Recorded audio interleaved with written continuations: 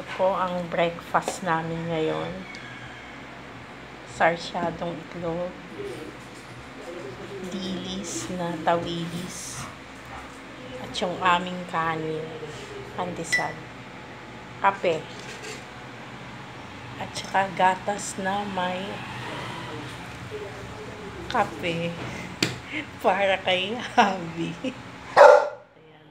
Ayan, papakita ko yung aming lamesa. O yan, ganyang kagulo yung aming lamesa. May notebook pa dito.